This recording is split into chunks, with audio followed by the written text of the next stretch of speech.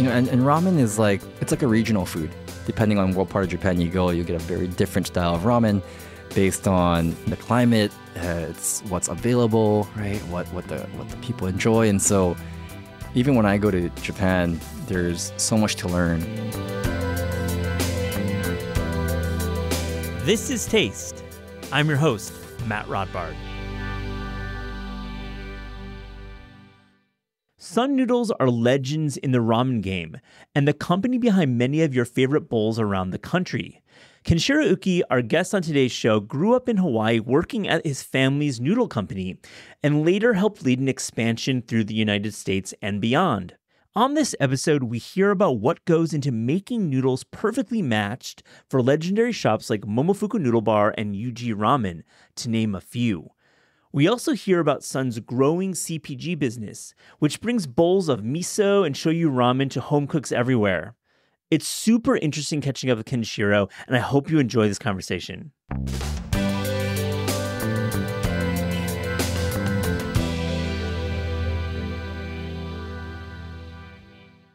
Kenshiro Uki, welcome to This Is Taste. How you doing? Awesome, man. Thank you for having me here, Matt. What? This is gonna be a great conversation. I I feel Sun Noodle uh, is truly a gold standard in in all food, not just in ramen. I mean, it's really just a product that many of our listeners stand behind. You got your instant kits, you got your collaborations places like Momofuku with Yuji, with Ivan Ramen. You got so many things going on. So this is going to be a great conversation. Yeah, you know, it's it's really a, blessing. You know, I think these uh, opportunities to share our story, um, it's a dream because you know, coming out of Hawaii, uh, you know, humble factory, humble humble beginnings, and, and getting to to be here in, in your in your office and talk about our story. I mean, that's just uh, an amazing feeling. So thank you. Well, you're welcome. It's it's a long time coming, and you know, ramen is an interesting product because you know there's been a modern history with ramen. If you go back even ten years, but definitely twenty years, for most people, ramen was the dehydrated packages like sure. Shin Ramen or just you know any brand of dehydrated noodles you would put in hot water and boiled. But obviously now in 2024, we're in an era where everyone knows that they like their mazemen over their shio, and they also have the ramen emoji, which is not the dehydrated noodles. It is actually a bowl of well composed ramen with bamboo shoots and uh, an egg and all that. You've been here, you've been with your family. This is like part of your story. Is it kind of remarkable about the rise of ramen? Yeah, you know, I think it's been a, it's an incredible, you know, incredible journey just to see how uh, America has accepted uh, this call it movement of what we call craft ramen. And if you go back to uh, let's just say Japan and where they started with uh, what we're enjoying today, right? It's that beautifully crafted soup, a hearty broth, uh, fresh noodles, and and like you said, bamboo and memma and toppings that that they make. And then in the early 1900s, uh, Momofuku Ando created and invented instant ramen because of uh, you know hard times during after the war. Uh, and and so you, you've seen that evolution in, in Japan, but in the U.S. it feels like it was a reverse, right? Where people uh, know, or the majority of people know more about instant ramen. Uh, that's what they ate, you know, when they were younger or uh, throughout, you know, college, uh, which was affordable. It was uh, approachable, and now you're seeing the movement from instant ramen to then becoming uh, what these restaurants are, are, producing out throughout the country. amazing bowls of, of, of ramen. I think that uh, you know, coming from Hawaii, I think we were maybe a little bit different where you, you we had a lot more ramen shops because of our population of you know a lot more Japanese immigrants uh, in Hawaii. So I kind of grew up around uh, these opportunities to eat more ramen, but seeing it here today, you know, New York City, uh, L.A., all over the country, uh, it's it's it's amazing. There's I, so much to love about a bowl of composed ramen. It doesn't have to be tonkatsu. It doesn't have to be rich. It can be light. Exactly. It doesn't have to have meat in it. It can be vegan. Mm-hmm. Amazing vegan ramens. Um, and so there's multitudes these days, and it's it's it's as exciting as ever. I mean, there's probably a moment when they said ramen was a trend, but you probably don't have a lot to say about that one.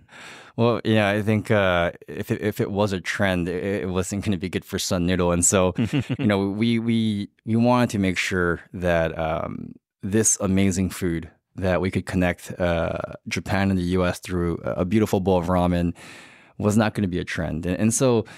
Uh, but there's everything to love about ramen. You, you mentioned it's comforting, it's um, it's affordable, it's delicious, it's fulfilling, it, it makes people happy. Uh, there's tonkotsu, right, which is a creamy style. There's also the, the lighter styles of shoyu and shio, and so it's really accessible to anyone and everyone. And I, th- I think that's why uh, we're seeing just a vast majority of ramen shops opening throughout the country, uh, and then we're seeing it accepted by so many people of different age groups. And Oh, yeah. it's just really amazing to see that. Well, let's talk about the Sun Noodle and the, the scale. I mean, you've got factories in Hawaii, California, New Jersey, and the Netherlands, and you're sold in over 20 countries. So let's get into like how do you describe the size of your company now? One, I think we're, we're just always humbled and blessed. I, I think we, you know, it's it's all about uh, for my father. He's always shared with with myself. It's uh, you know, we have to go and build um, the category. We have to go and uh, share our passion uh, of ramen for for many more people. So the first twenty years, um, from 1980s to early 2000s, it was fully focused on Hawaii, building the foundation, and you know, people of Hawaii accepted him to open his business, taking a chance on on his products. Uh, and then a customer of his out of Hawaii wanted to open in in Orange County, California, and so we were shipping products from Hawaii uh, for some time, and you know, at some point, it just didn't make sense Yeah, economically. economically, right. And so that restaurant owner invited my father to visit him, and my father went and ate at so many restaurants. And you know, every bowl of ramen was delicious, but what he did mention was that every noodle seemed like it was all the same. So he thought that there was a chance to do something, uh, bring his craft of uh, the different styles of noodles that could match the restaurant soup. And so in 2003, we opened in California. Uh, and then the same opportunity to come out east in 2012, and uh, just last year opening a factory in Netherlands. And so it's just amazing to see that uh, you know this this simple product that we make is loved by by so many people in different countries, where they speak different languages, Oh, uh, yeah. different backgrounds. Uh, but but to your point, I think that's why ramen is not trendy. You know, it, it's there to stay because it can be incorporated uh, locally uh, to each people's favorite liking. Well, Ken, we'll get into like how the bespoke nature of the of the ramen business and how you work with you know operators and chefs, uh, and you create you know unique ramen noodles for their their broth and their and their restaurants. But uh, you just said 2012, which is an important year. Um, you know, in New York, you entered the, the the the scene and you started working with some pretty big names. Momofuku Noodle Bar was probably the top of the heap, and David Chang, and you have a long history. But you also work with like Ivan Orkin, Ivan Ramen, Yuji Ramen, which is like mm-hmm. definitely one of my favorites. And I feel like when Sun kind of entered New York, you got like Dave and Ivan talking about you, and then all of a sudden it was like you had to have Sun to be in the game. What was 12 like for you? Yeah, that I've never uh, I've never heard anyone say it in, in that way, but but it, it's really special you know, if, if you think about it in that sense. And 2012, uh, let's just you know, maybe back up a little bit. I, I I joined my father's company in 2008 and, and worked at a California factory where he had just built or expanded his business uh, for for more footprint, and uh, that's right when one of our largest distributors picked Sun Noodle up as a supplier. And so for the first time, we were going to get to go from uh, a California Los Angeles DSD model to now have products of Sun Noodles go cross country to New York City. And uh, my my first two three years was learning how to make noodles and, and working in, in the factory and, and doing a lot of R and D and, and production. And in 2011, the the Asia Society had an event called the Ramen Fever event Mm. and uh, and, and so I was excited because I've never been to New York uh, for business prior to that, uh, and got to come a few days earlier to to eat a lot of different ramen shops and and try a different types of ramens and, and get to meet so many people. But uh, but the the reaction when I introduced myself was so negative. You know, I think the perception that they had uh, of Sun Noodle was so uh, negative. Negative. Not- shocking to me. Like, what's negative about it? in Hawaii and in Los Angeles at that time, we were very good at making noodles today and then delivering it tomorrow. You know, DSD in, in terms of getting our products uh, to many many restaurants directly from our from our factory and And what we did not know was in New York, the differences of a, a noodle being distributed fresh, refrigerated versus frozen. And uh, we, we had just made the products like they would be delivered freshly, but we then distribute it frozen through through pallets and I see where this is going. uh, there's issues. There's trucks. Exactly. 3,000 miles between Yeah. LA and New York. and there's temperature changes in Yeah. the summer and, and winter and and so the restaurants had a right to be very uh, you know just not excited to see, to see me when I when I came by they're crushed noodles or melted noodles are all stuck together uh, and and Matt I think that's seeing that uh, lit a fire in me right because in, in Hawaii our our perception or, or the brand is, is so strong and you know I had this kind of uh, maybe will to just want to figure out how, how can I change this perception about them. And so fast forward to 2012, uh, my father let me come out here and uh, and we built a very small, call it production room Yeah. in, in Teterboro. And and I just knocked on doors and I and I think about Dave uh, back then and, and Ivan Orkin and and Yuji, uh, all these people and many more who who gave us a chance, right? Who, who gave us a chance to give them some samples or or let us uh, you know be in the kitchen to provide some ar- uh, you know back and forth. You And- started working with them directly to create bespoke noodles, like ones that they actually wanted for them yes. specifically. And I'm sure to them that was a major opportunity, right? Sure. To be able, because like before they were likely using, you know, more of a commodity noodle that was probably made somewhere in like big batches. I mean, now you make it in huge batches, but I mean, it's not even about the sizes. But you were knocking doors and getting the recipes right. the restaurant or the ramen scene in New York City was so at a, at a high level Yeah. that the quality was was amazing and there there was a short list of ramen shops that I said I really want to get into. I'm gonna guess Minka's on there. Is it? Minka. Is Minka on there? Because Minka was like the number one. Mr. Kamada, Kamada-san, uh, he is the one that I went to first. And I was 24 at that time, and I kept on knocking on his door. Uh, I, I knew what time he was coming in every morning, 9.30 on his bicycle. I was always there at 9.15 and uh, you know just kept on asking him for feedback. You know, he, he had a he had a supplier for for many many uh, years as I was speaking to him, and, and you think about his loyalty to his his partners, and I just wanted to get just one chance to see if he could sample it, and maybe because I was younger, uh, and maybe because I was willing to come in and, and meet with him every day, is that after the fifteenth try, he put me on his summer menu Oh wow. uh, for his cold noodle dish and uh, but it's people like them who Yeah. you know give you a chance. And obviously his perception i think 15 tries before was very negative and and you know had bad experiences. And so they didn't want to waste his time. And then uh, giving me that chance. So mr kamada at minka and you know there's so many other places that uh, have helped us kind of you know build build a relationship and uh, along along the journey uh, I mean, what a journey it's been, and and we'll get into a little more of this craftsmanship. But I have some more some general ramen questions. I mean, how has our appreciation changed for ramen over the past twenty years uh, in New York as as ramen? Because you, you're right, 2012 was a high level, but really, I think 2024 is at the highest level. But how you know it used to just be like one or two styles, but now it's like kind of multitudes. Yeah, I would say probably the the, the very dominant one was tonkotsu. Uh, Yeah. and I think maybe we made some improvement there because you know at, at one period people were calling it tonkatsu ramen, and you know now people are calling it tonkotsu, which is correct. And Yeah.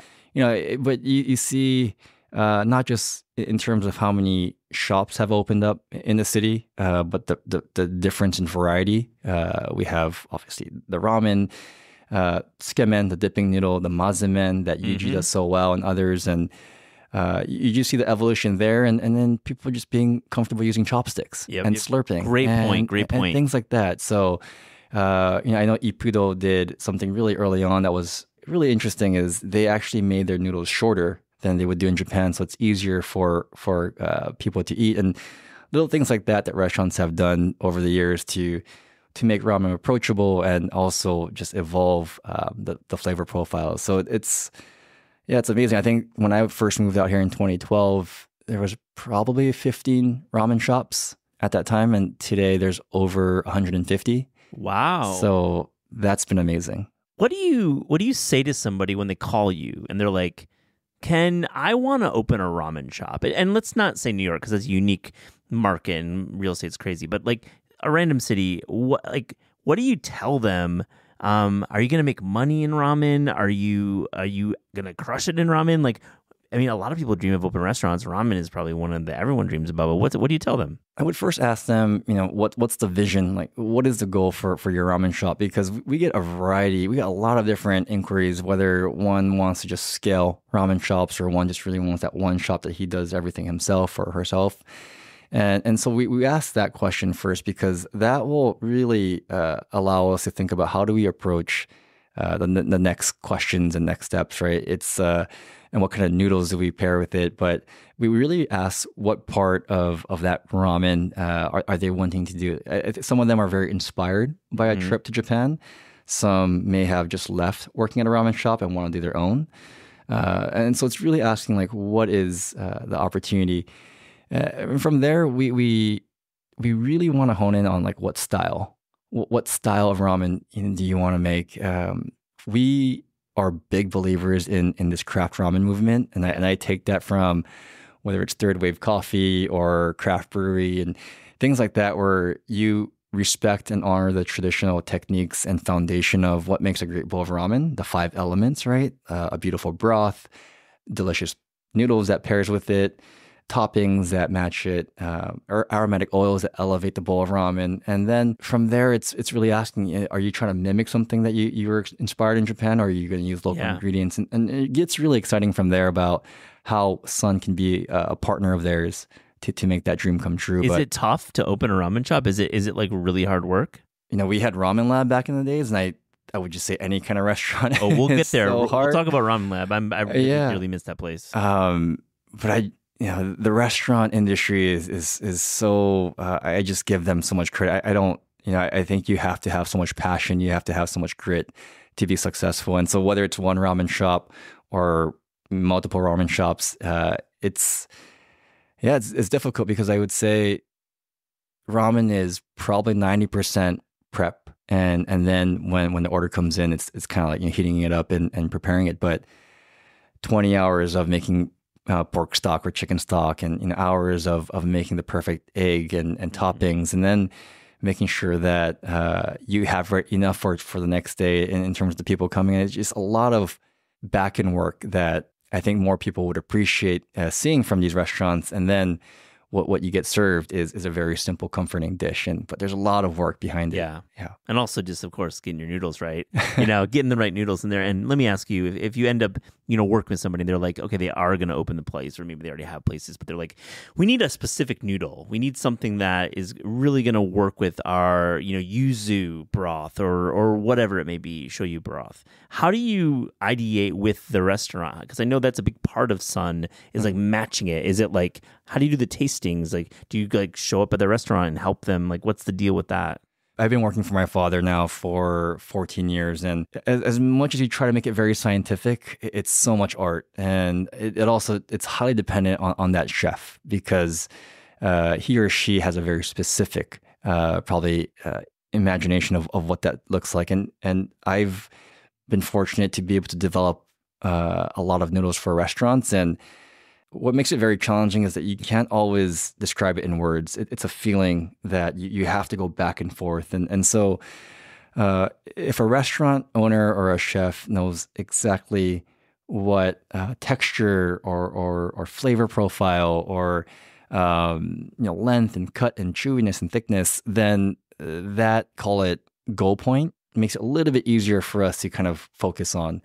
Um, and so, like Ivan Orkin he he was making noodles in Japan for years, and so he knew how uh, different flours and different water ratios work for for a noodle. And so that was, I wouldn't say easy, but it was much more of a smoother kind of R and D process because we'd go back and forth and we know what we're talking about. But if and we have other uh, really awesome opportunities where they are just inspired by this one ramen shop that they got mm-hmm. to visit, whether it's somewhere in the U.S. or or Japan or elsewhere and and they're very specific. Is I, I want that noodle. We we we go out and we eat at that restaurant. And if we've never made it before, we will go out there and we'll try it out and we'll try to figure out what what You'll is that. do a reverse engineer for them. We will, yeah. And my father is is if not the best, um, we have about two or three other people that is capable of of going out there and trying it and mimicking it. But it's it's vast. It's it's very dependent on on what that uh, chef uh, is envisioning. I mean, let me ask you: You're American. You grew up in Hawaii. Uh, your clients are in United States as well. Are you in Japan a lot? What's your relationship with Japan? Is Sun in Japan? Would Sun want to be in Japan? Yeah, if we if we go back to my grandfather's uh, generation, you know, my grandfather was in the noodle business as well. Uh, he he is uh, a mastermind at, at, making noodles, and when I was uh, early earlier in my career making noodles at the factory, uh, I would go to him for a lot of advice. I guess our roots are in Japan. Uh, my father came to Hawaii when he was 19 to start his business, uh, and and so I am uh, Japanese American, and I'm really blessed because uh, growing up in Hawaii, you have that diverse culture and. Sure you know, my, my father's always said, Ken, you know, this business, I can take it from, you know, what I know in my language and my craft, but you're American. And so go spread this love to people who speak your language right. and, and, go share this craft. And so, yeah, it's, uh, I, I was in Japan last month for 24 hours. Uh, 24 hours. What are you, Ken, what are you doing, man? We're, we're in Tokyo, Hokkaido, where are we at? Well, it's crazy because I had to go to Okinawa, yeah. which is the southern part of Japan, yeah. and Tokyo and I flew for 26 and I was there for 24. But if there's anywhere I would go for 24 hours, I, it would be Japan. And I, I, was out there because a customer is about to open in the U.S. and he and he really wanted to meet about some samples. And I started brought it to him.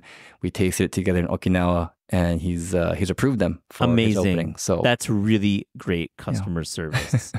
and a lot of jet lag. Amazing. And, and, a very supportive wife. yeah, you have two. You have some small small ones at home. Yeah. So yeah, yeah you got to be. You know, your travel is not as easy. Yeah, yeah. And you have a very supportive wife. Very, very cool. supportive. Shout her out. Yeah. um. So you, you you have like your your father was born in Japan, so you have this link to Japan, and um you are there like are doing R and D like like in the shops because like Japan is where the trends start, right? And where we, we ended up getting those trends in America. Exactly. I think ramen started in China and it was brought to Japan and through the Yokohama port. And um, you know, was, uh, I think at one point it was only served to the, the upper class, and it became then open to the masses. But we, we go to we go to Japan where it's the most competitive place. There's thirty thousand ramen shops uh, in Japan, and um, you know, we go out there because there's always something to learn. You know, and, and ramen is like it's like a regional food. Yeah. So it's like pizza oh, or yeah. barbecue here in the US where depending on what part of Japan you go, you get a very different style of ramen based on yeah, maybe it's the the climate, uh, it's what's available, right? What what the what the people enjoy. And so even when I go to Japan, there's so much to learn. And we also send our R&D we bring our R&D team to Japan at least once every 2 years mm-hmm. and we go and learn the different t- styles of flour that that's available the mixing techniques um, we, we work closely with our supplier out there for wheat and we were actually invited to to visit the the factory that makes the noodles for one of my favorite ramen shops in in Tokyo. Mm. Um, the son of There's a lot of amazing noodle makers, yeah, but yeah. Uh, there's a, there's a ramen shop called Tomita, and if you ever watched the movie Ramen Heads, uh, this is the guy that's in it. But they taught us how they make their noodles, and it was completely different in approach and process than how we make some of our products. But we were inspired by that. Uh, and now we're doing a lot of R and D around. That's pretty cool that, that they opened up uh, their their business and let you yeah. and let you mm-hmm. in, and and that's very collaborative. Yeah, but man, I would just say, you know, I think it's interesting because 20 years ago, when you think about shoyu ramen, you think, okay, immediately pair that with medium chewy, yellow, wavy noodles. Tonkotsu would be uh, married with a low moisture, snappy noodle. And today, I was in Japan and there is now shoyu ramen paired with low moisture noodles. And it's completely different from what we thought would be a blank canvas 20 years ago to what people are doing today. Is that like so, Gen? Is that like Gen Z? It's like, amazing. I don't like know what's going on. Going, trying to just throw everything on its head. But it's amazing to see the evolution. Even what we thought was probably traditional is is being challenged in Tokyo, and so a lot of inspiration in Japan there.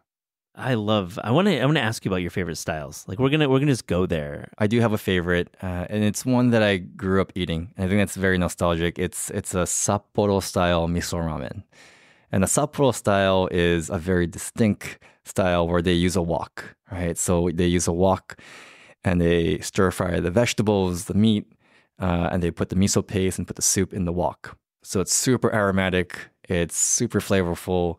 There's so much going on, and they pour it over extremely yellow and chewy noodles. And that's what I grew up eating uh, in Hawaii. That's where my father would take us on Sundays.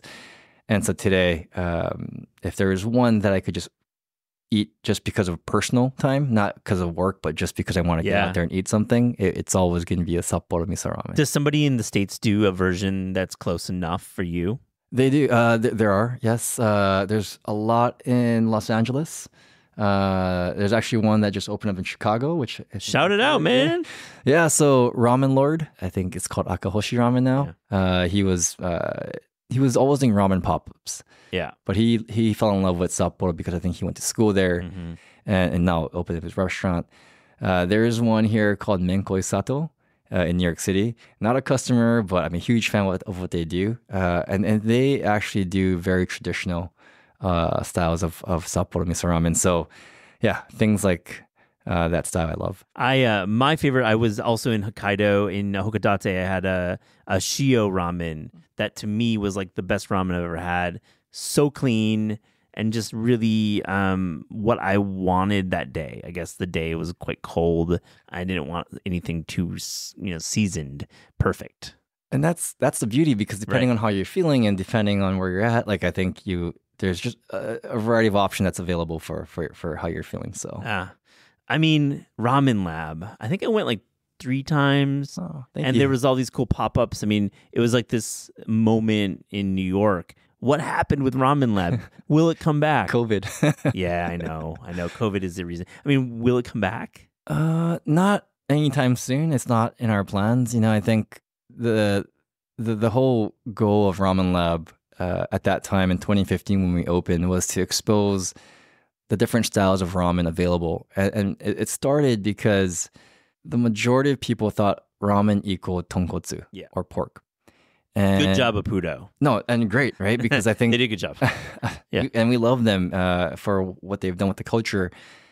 But I had a call with a restaurant owner that wanted to open a ramen shop that focused on shoyu, a very clean, clear, uh, you know, light broth. And you know, we had more restaurants like this that consumers would come in and say, "This is not ramen. This is not pork. This is, it's not ramen." And so, the Ramen Lab vision and, the real purpose was to bring in in the first year, and maybe when you're visiting, is every month a, a, a rotation of some of the best ramen shops from Japan, and whether it be Sapporo miso ramen style or, or tsukemen, which is a dipping noodle, or or shoyu, or just bringing the the top class ramen chefs from Japan to to to do in New York City, and we built it within 400 square feet standing only open kitchen so that people could see how much work and, and how much love there is uh, to make a bowl of ramen. And uh, you know that that that I think we achieved our goal.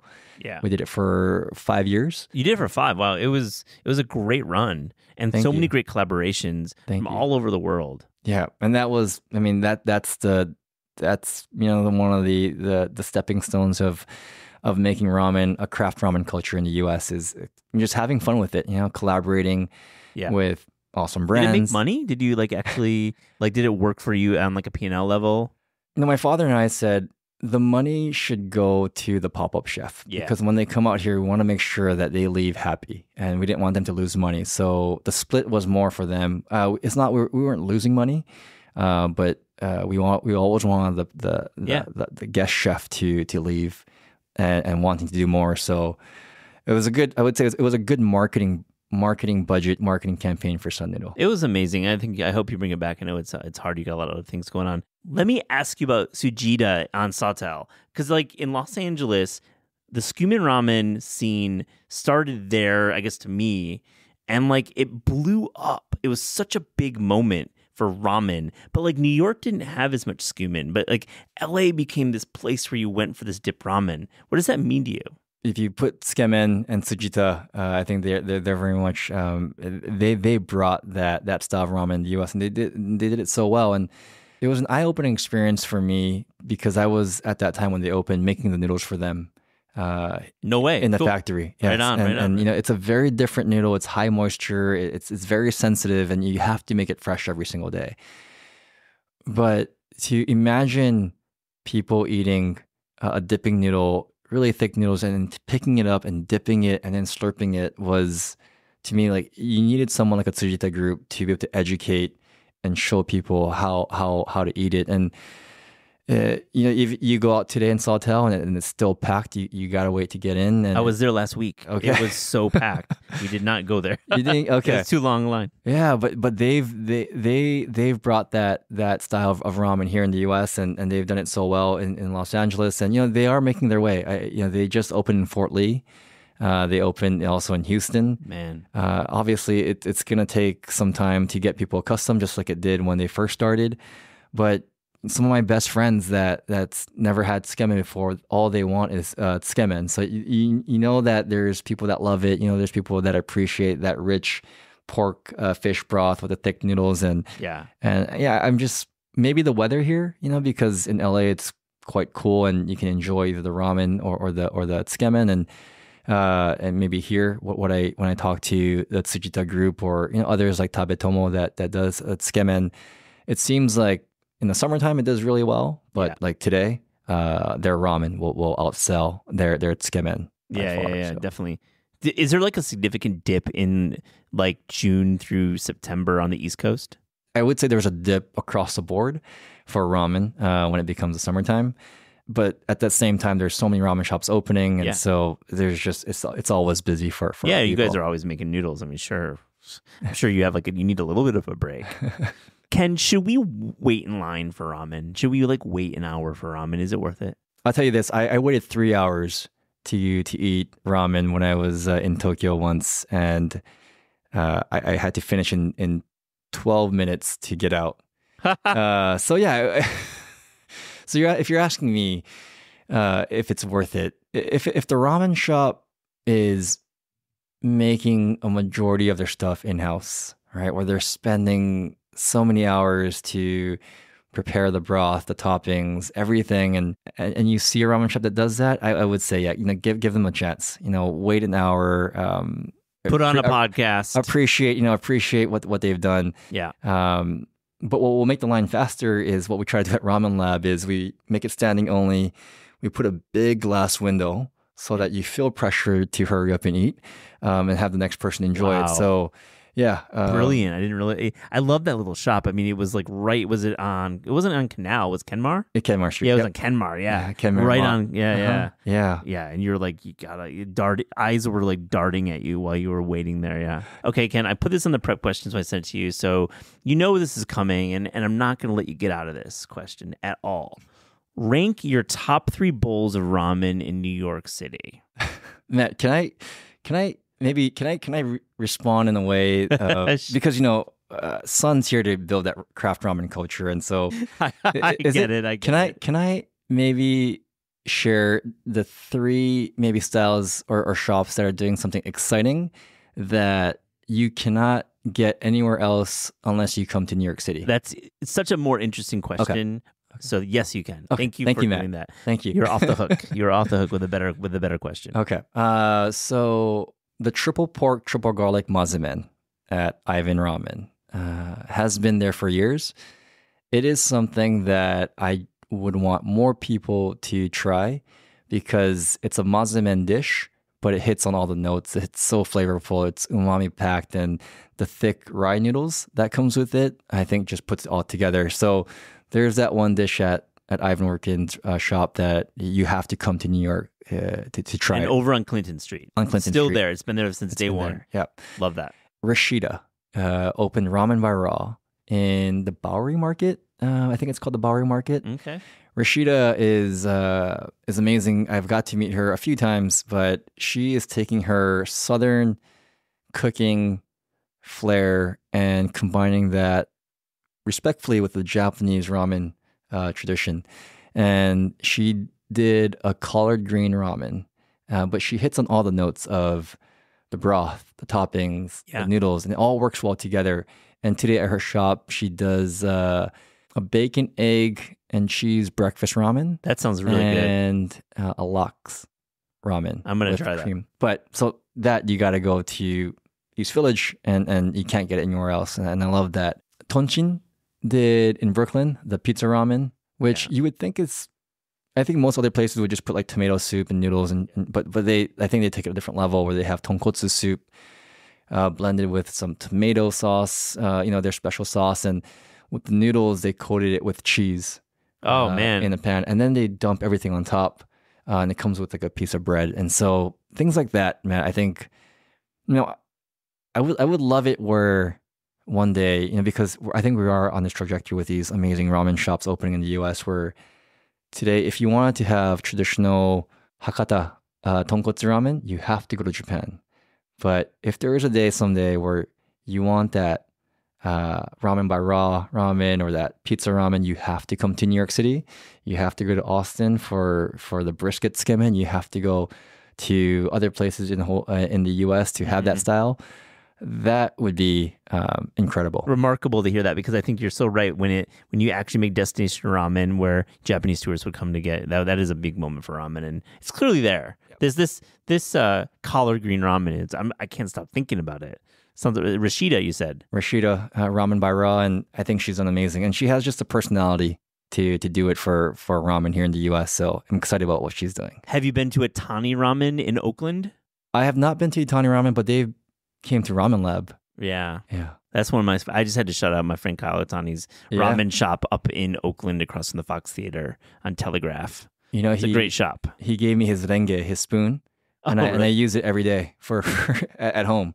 It's Itani Ramen, it's his renge, and I and I- Yeah. and I have it at home. Oh, that's cool to hear. Yeah. yeah. I just had to give him a shot. We are talking about ramen. It's my favorite. He's my guy, so I had to give him a shot. Yeah, just the nicest person. Like, he's such a nice guy. Kyle's a genuine, wonderful and- guy. Yeah, Yeah, I love that. This, we could talk about ramen all day. We, we've definitely talked about that. But let me close with asking you there was another food that you could devote your life and your career to. What would that be? This may be a little boring, but you know, I, I, I love noodles. so, um, if it wasn't ramen, I'm, I'm a huge pasta fan, Yeah. and and I love pasta, and uh, there's just so much around pasta that I just enjoy, and so uh, if there's any other food um to get into, probably anything with noodles, but probably pasta. Also, selfishly because my son he he he will eat any kind of noodle, um, and so that makes my life easier. I love it. It's a great answer. I mean, there could be like a dried Italian crossover, I'm sure. hmm I mean, in Montclair, New Jersey, there's pasta ramen. But Oh, the yeah. guys at Montclair Hospitality That's Group, right, right, right. Yeah, it's it's amazing. You know, they Robbie there has his traditional Italian techniques, but we have some really fun noodles that he pairs with, Love with his pasta. So we've rooted this conversation all in the restaurant world, and that's a big part of your business. But you actually have a CPG business. You sell actual ramen that we can get in the cooler case and on the shelf. So let me ask you, how can we buy Sun Noodle if maybe our ra- local ramen shop doesn't carry you, or just you want to buy another product? How do we buy it? What is that? What are the products? Yeah, so we've always been making these uh, ramen kits uh, since I was growing up. Uh, mostly sold in Asian grocery stores, uh, you know that that you see locally. Uh, Mitsuwa, you know, um, Sunrise Mart, uh, H Mart, 99 Ranch Market, and and today, you know, we've been obviously fortunate because ramen shops are opening, and so retailers are are, are carrying fresh ramen kits, and so nationwide in Whole Foods, Wegmans here on the East Coast, uh, and lot, you know that's probably our next part is like putting more focus and getting it more available online as well uh, on Weee and on Yeah. Umamicart, and we also have our own store that we sell products on. So check it out. Check it out. The website. I'll link to it for Yeah. sure. So they're all they're all cold.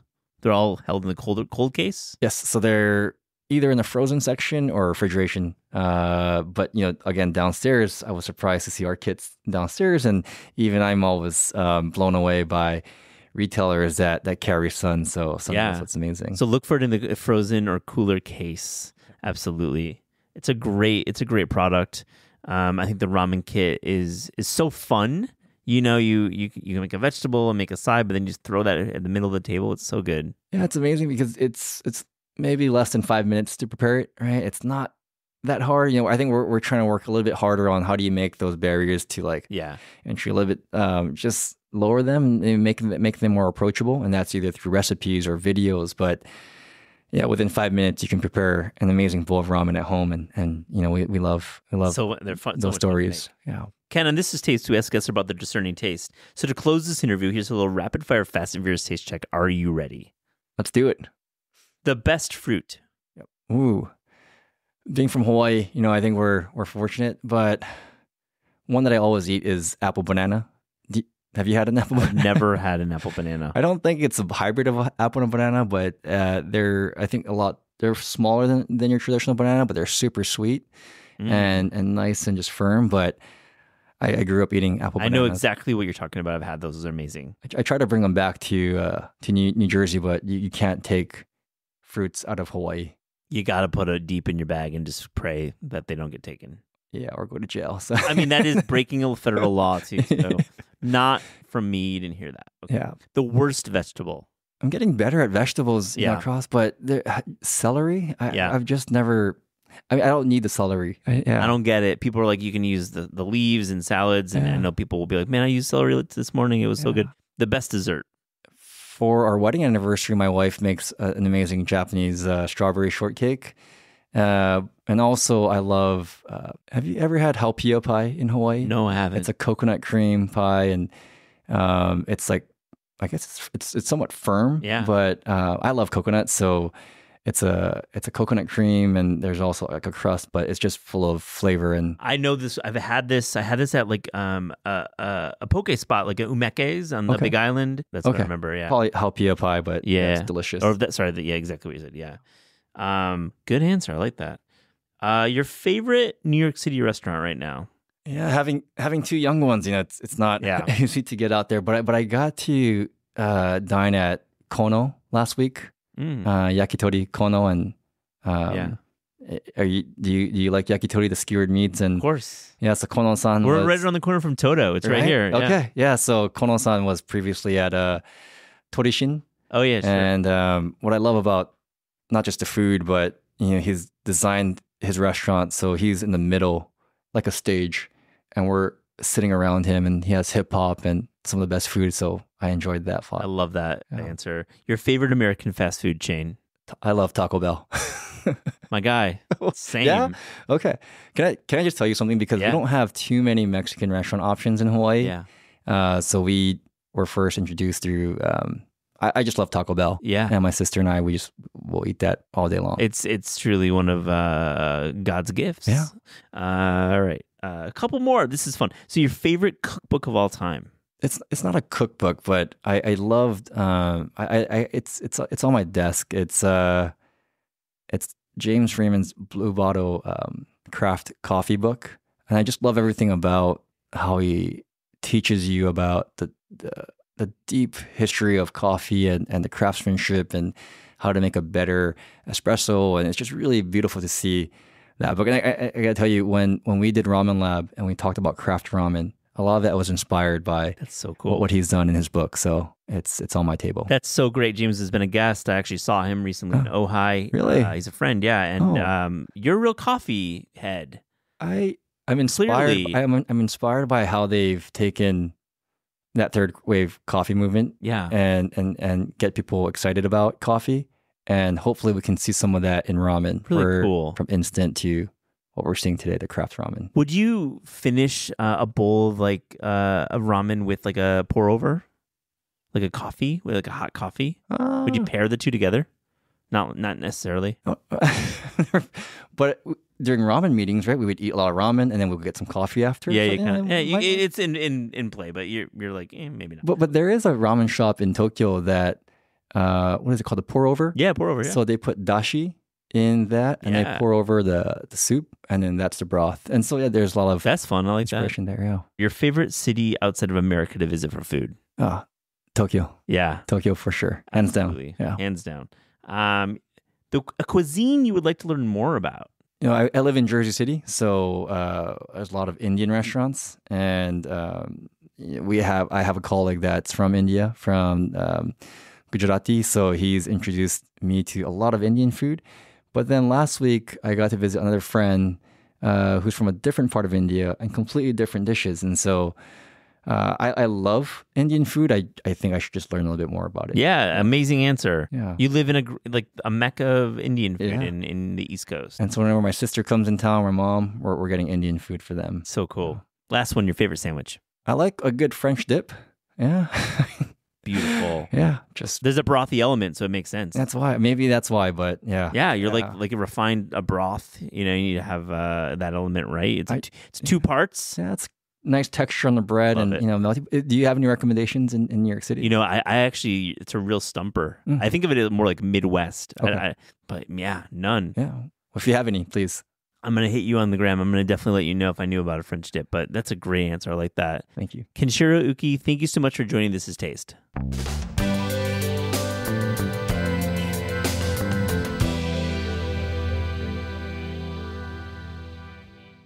What's up, Aliza? How are you? I'm good, Matt. How are you doing? I mean, we were just doing a little deep meditation in the studio before we got on, so we're like a little, little more low key right now. Yeah, I don't know if we've ever been this chill, but maybe we can talk about some of our three things and get excited again. I think we're gonna like ramp up the energy of three things. What's your first one? My first thing is that I recently made the black sesame Rice Krispie treats that Eric Kim oh. developed for the Times. Yeah, Eric, I, I made this Oh, myself as well. So let's kind of break it down. How'd yours go? Uh, mine were great. I really like the fact that there's sesame oil and sesame seeds that go into them. So it has this kind of double toasty Yeah. note. And I also just realized how much I love Rice Krispie treats and that it's not something that I eat enough. Oh, me either. And I think when you add black sesame and kind of has like a cool look, and then of course adding the sesame oil is a classic Eric Kim pastry move.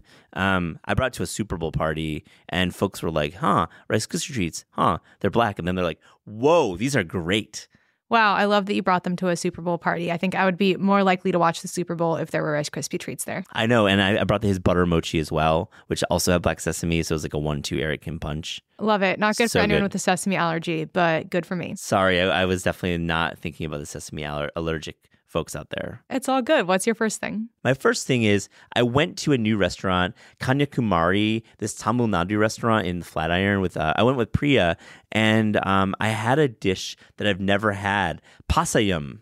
Do you know this dish? No, tell me about it. It's a South Indian dessert, typically made with vermicelli, milk, dried fruits, and flavored with cardamom. That's like there's like many versions, but that's like the baseline. But this one was made with a bruleed pineapple, and I thought it was terrific. And young coconut as well is like in the in the pudding, and it's like really one of my favorite pastries this year.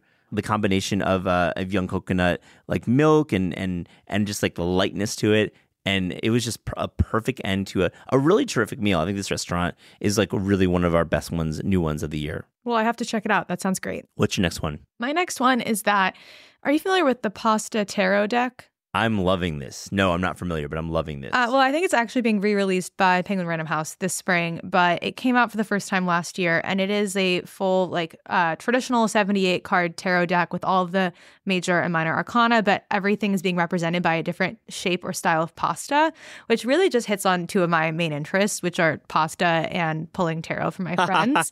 uh, and I think it's just super fun and creative and also just showcases like how many different kinds of pasta are out there. So I think that like if somebody was looking for maybe a gift for someone, you know, traditionally you're not supposed to buy your own tarot decks. Uh, Not everyone ascribes to that, but I just think the pasta tarot deck is super cool. I love this pick, and I wonder um, when you're reading tarot for your friends, does it get a little heated? Does it get a little emotional? Yeah, you know, I, people have different takes on that. There are some folks, I think people who are like more practiced with reading tarot often won't do readings for their friends because they don't want to get in that situation. But for me, it's more of like a casual way to kind of connect with my friends. And often, if they're having a hard time or if there's something coming up in the future that they feel nervous about, like we'll pull together and then kind of use the cards as a way to reflect and talk about it. So Yeah. I think if you're nosy like me and or don't feel particularly like connected to the universe, but just using tarot as a a social connection also like me, then it's a really nice way to go about it. But I'm sure there will be some people listening that would say that I shouldn't be doing this for my friends. So apologies. Well said, man. Well, I, I like the, your point of view with tarot. I've, I've never really quite understood it, but you just broke it down. I'll bring you beautifully. Maybe I'll get the pasta tarot deck and we can. Are we going to do a reading? Yeah, live on the air. Oh my god, no! Please no. What's your next thing? My next one is I went to the new Mel Bakery location in Hudson, New York, up in uh, upstate, and it was really good. So Mel had an original location in the Lower East Side around Dime Square. They moved up to Hudson in the past six months, and I've been meaning to go. And we were, found ourselves up in Hudson. Shout out to Cafe Mutton, and went there as well, which is great. And I, I was so blown away by everything from the multiple types of breads they were doing for the day to, I mean, the kouign-amann, uh, Viennoiserie, you know, flaky sheeted pastry that you will see in most places in New York or, or reputable bakeries. They're they're nailing that. But then they did focaccia and sandwiches. So they did like a, a focaccia of the day, which had this really tomatoey um, sauce, and then they had, I think it was mortadella. I can't remember like what luncheon meat it was, but on some of their fresh bread. Just a terrific bakery. Yeah, I really loved going to the Mel location on the Lower East Side. I think they do a lot of savory breakfast pastries really well, which Yeah. is something that is a special interest of mine. And I was really sad when they closed. So I'm glad to hear that they opened um, upstate and that I can go get them up there. Yeah. Seek 'em out in Hudson. What's your last one? My last one is a food novel, which, as people know, is another special interest of mine. Yeah. It's called Happy. It's by Celina Baljeet Basra, and it's about a like Punjabi cabbage farmer who has aspirations of being like a movie star who immigrates to Europe. And I just think the food writing in this book is really special. There's a lot of descriptions of things like sugar roti that just sound like really delicious and special. There's a whole section that's like being written from the perspective of a tree. Like it's a very unusual book. Um, but I think that anyone who's interested in food narratives or just kind of great writing in general would want to check it out. Can we get the author on? Uh, yeah, she is based in Berlin, but I bet she could do a Zoom thing. Maybe So we should do it. we'll figure it out. Great. What's your last thing? My last one is a book. It's coming out, I believe, in May, might be April. Don't quote me. It's called The Bartender's Pantry by Jim Meehan, who, you know, everyone knows Jim. He was the founder of PDT in the East Village in New York, a real legend in the cocktail game. Now, Jim has done this like very, it's almost pocket sized book about really building your home bar and kitchen. And I just think it's the kind of book that it follows up on his PDT cocktail classics book, which is a lot of like the history of the bar. Well, this is like his follow up. And I, I love that he is doing all sorts of drinks with real home cooking in mind. Masala milk tea punch. He's got a gin basil smash. I'm just like actually literally paging through it now. Um, and I just love the way it kind of fits into the pocket almost. And it, it's it's one of the books that I know you're gonna see in lots of lists. And I just loved seeing Jim back in the game where he's going to be on the podcast soon. And I just love it. Well, it sounds great. Thanks for talking about three things. This is Taste is hosted by Aliza Abarbanel and me, Matt Rodbard. The show is produced by Shalia Harris and Pat Stango and edited by Clayton Gumbert. Theme music by Steve Rydell. Visit Taste online at tastecooking.com and make sure to subscribe to our newsletter for updates on all cool things that are happening.